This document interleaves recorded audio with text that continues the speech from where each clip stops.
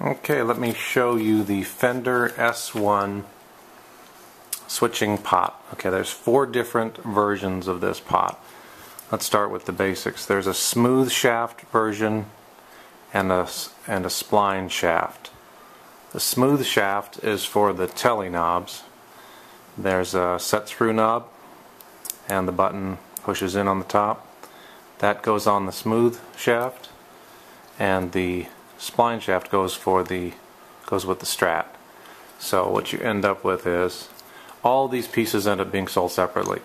There's a 250k version of these pots and there's a 500k version of these pots. It actually says on the side, I don't think it'll pick up on this camera, but um, it there's a it says right here on the side whether it's 500k or whether it is 250k kind of see that there.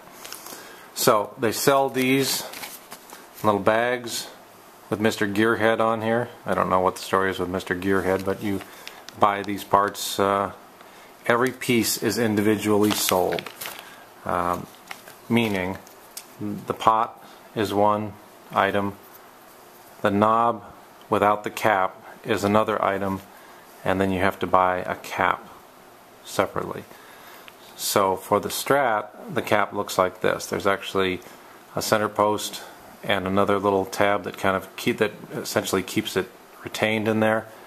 On the Tele version, what you end up with is there's another part, which if you buy these off of eBay like I did, nobody seems to sell that little part.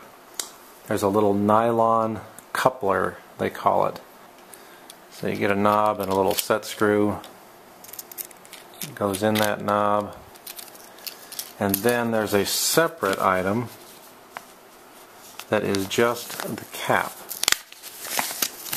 Now what's missing from this is a nylon coupler which is yet another part number that no one on eBay has and I can only find one seller on the internet at all that had this thing but uh, so for the Tele you get this combination of things, but what you'll notice is there's nothing to retain that button. And so even when it's installed on the pot, it works just fine, but if you turn it over, it falls right out because there's nothing to hold it in there. Versus the Strat knob, which even though there's nothing retaining it, it's just fine. It stays in there just fine. This second little post provides enough support that it keeps it from falling out and it doesn't it doesn't do anything. It's just, fine.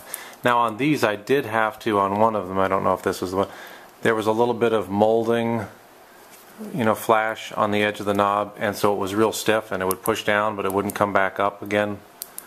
Uh, and so I had to take uh, some sandpaper or maybe it was just an X-Acto knife and kind of clean up that edge a little bit so you might have to do that you really can't do that with these. They're a chrome finish knob. There's a, they're a smooth finish knob. You start sanding on that, you're going to scuff it all up. But I'm not finding that that's really an issue with this particular knob. So essentially, these S1 switching pots are a standard looking CTS pot. If you look at the pot itself, if you compare it to, let's say, this is a Fender TBX pot, they are identical in the way they're constructed and the size of that wafer. So that means you could do the same thing you can do with all these. You can take a small screwdriver and you can pry these back, these little tongs here back, take this nut off of there, and you can actually disassemble this and you can actually take this out and replace the carbon strip, this, this part that contains the carbon strip that is the pot. So if you've got uh, a 250K and you want to turn it into a 500K, you can actually, if you had a CTS pot that was a 500K, you could actually swap that out and not have to go searching for the 500K version of this. So what this thing does is, let's take the spline version of it. There is, it's hard to see inside here, but there's a little, you can push that down. There's a little plunger down inside there that is an actuator for this switch. I get it just right here, you'll be able to see that. You can see down in, if you look down in here, you can see, well, I've got the cap right here, why don't I just use that?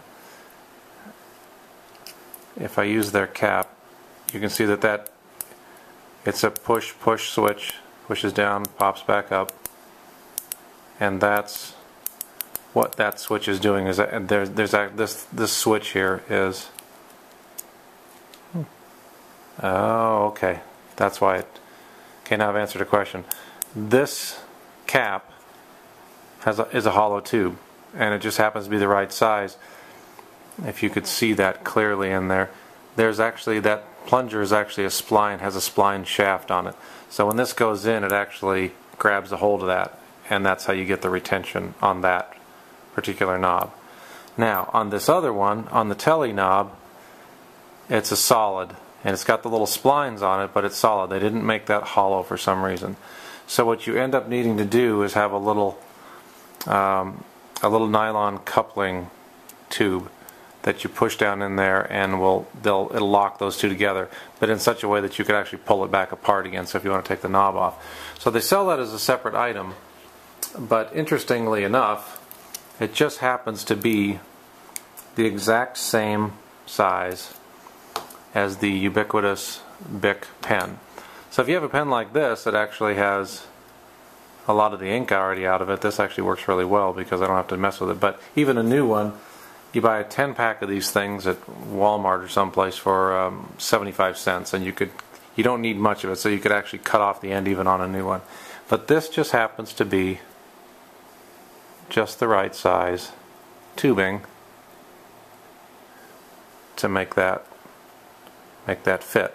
So what I'm going to do here in a little bit is is cut a length of that for the uh, for this Tele knob so that I can get that to stay in there. So then the question becomes how long should that tubing be? You'll notice that this cap when it's in there is it actually recesses a little bit when it's all the way up. So that would tell me I want this coupling to be a little bit longer than than it needs to be so that it'll leave a little bit of a, it'll have a little bit of a it'll push that button up a little bit. So basically there's just a short section of splining on that shaft. You've got a kind of an equivalent thing down inside there so I'm going to basically take this length and double it up and I'll just cut it with a razor blade and see how that works. Okay, so I have selected my length and I'm just cutting through it with a box cutter type knife and I've got a little section here so I've ended up with a little section of this tubing that is eh, 20 64ths. So that's 5 16ths, about 5 16ths of an inch long. We'll see how that works out. So I'm going to drop that down in the hole. Actually, you know what? Let's just do it this way. So I'm going to go ahead and take this tubing and I'm going to push it onto it's a little tight, but that's actually good. I've pushed that onto there like that and let's see if that's if that ends up being too long or if that will actually work out for me. It actually pushed all the way in so it still has that kind of a recess to it. But that is now solidly attached there. It's not going anywhere. And if I want to, I can still, I'll loosen the uh, set screw and I should be able to pull the whole thing still apart. Yep. And then we've got that. It stays attached to there. So that's how that's going to work. So let's take a look at how these pins, how these pin out on the bottom so that you actually can solder to them.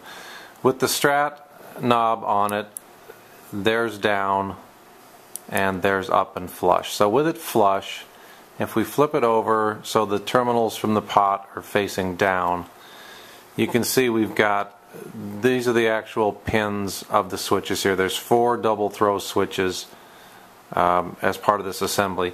And what Fender has done here, instead of having to try to tack on to these little tiny pins, these rings around the outside that look like they're just rivets that are holding this assembly together, those are actually the terminals that you're going to solder to. So um, in this situation with the with the button up and flush, what you'll find here is this this top switch correlates with these three top pins. This bottom switch correlates with these three bottom terminals.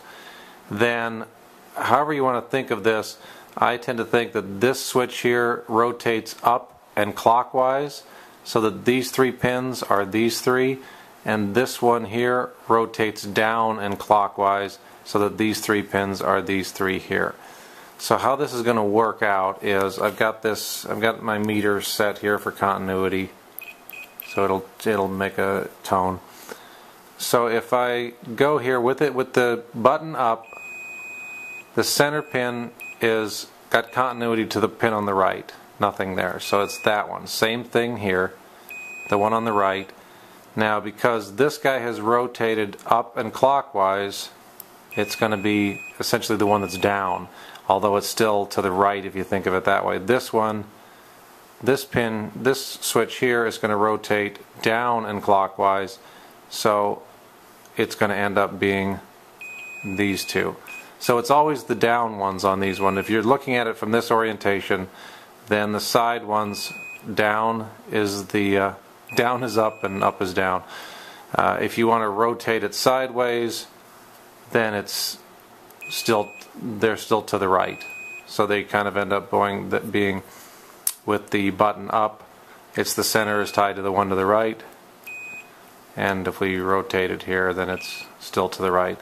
Now if I take this and push the button in so that that's depressed and we still have our pot terminals down then we're going to be center left center and left and then these guys have rotated up and clockwise so it's going to be that's essentially center and left or if you want to think of it as up this guy is going to rotate down and clockwise so our center and left will be here so that's how those are going to look. Okay, here's kind of an interesting alternative. I've cut this section of tubing to about 13 30 seconds, which is just a little over 0.4 inches, a little bit more than 10 millimeters. So it's a little too long.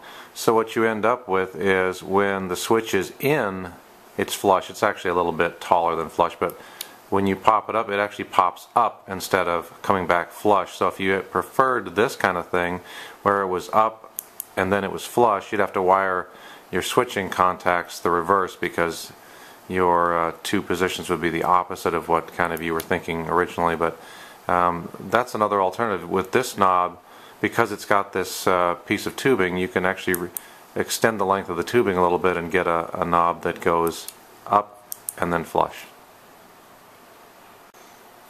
And here's another thing that's probably worth mentioning. This time when I pulled the knob off with the cap involved, the tube stayed down inside the shaft. The tube didn't come back with the cap.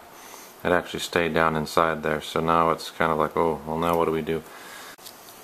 Okay, so I've been un unsuccessful at trying to get that little tube out of down there. So I'm going to go ahead and just uh, do this disassembly. Pry up the prongs with a small screwdriver and we'll work our way around here. Of course some of them are a little easier than others. This guy here doesn't want to play along.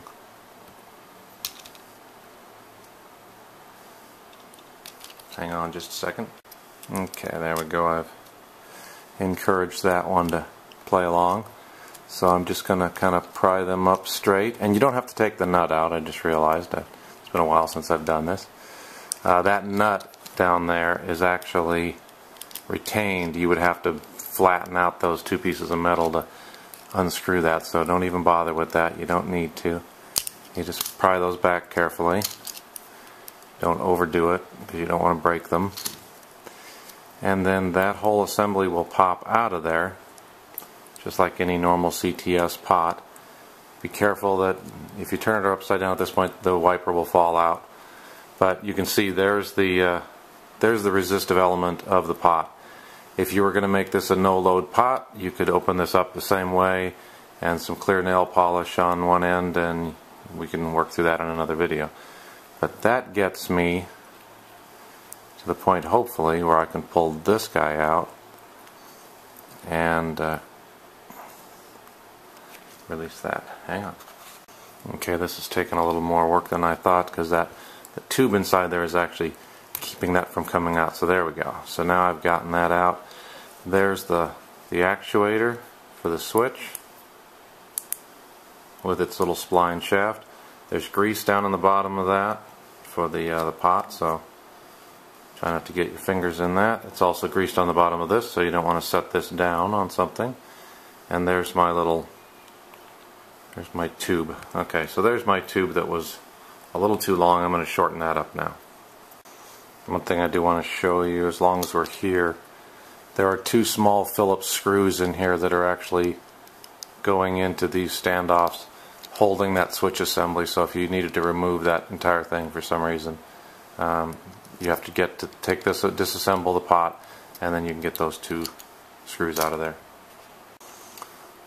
So when you start to reassemble this there's a little indent that's been pressed into the casing here that creates a little a stop inside so that uh, there's a and there's a part of this assembly that will hit that as it rotates.